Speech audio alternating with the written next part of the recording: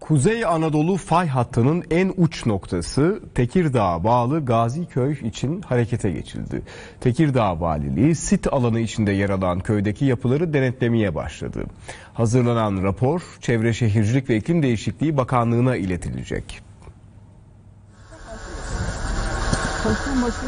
Mevcut yapılar deprem güvenliği açısından denetleniyor, fay hattı üzerinde ayrıntılı inceleme yapılıyor. Tekirdağ Şarköy ilçesine bağlı Gaziköy'ün depreme karşı risk haritası çıkarılıyor. Tekirdağ Valiliği tarafından oluşturulan komisyon fay hattına yakın yerleşim yerlerinde ve yapı stoğunda incelemeler yaptı. Sonrasında hazırlanacak rapor ise Çevre Şehircilik ve İklim Değişikliği Bakanlığı'na gönderilecek.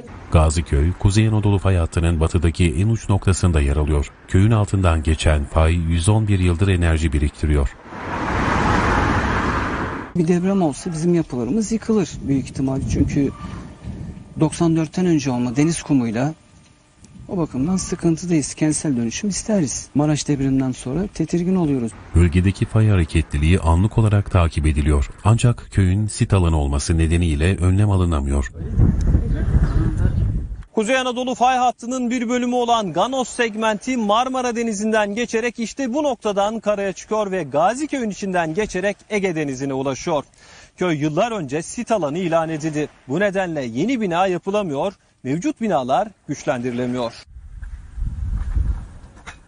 eskaza bir duvarımız yıkılsa, onu tadilat yapsak veya bir çatımızı onarmaya kalksak bunlar halk arasında veya herhangi bir şekilde şikayet konusu oluyor ve biz büyük cezalar ödüyoruz. Depremden korksak da bir şey yapamıyoruz, korkuyoruz. Bizim de evimiz işte yani deniz kumundan olduğu sürece bir şey yapamadığımız için korku, korkuyoruz. Yapıların mevcut durumunu ortaya koyan rapor yakın zamanda yetkililere teslim edilecek. Ma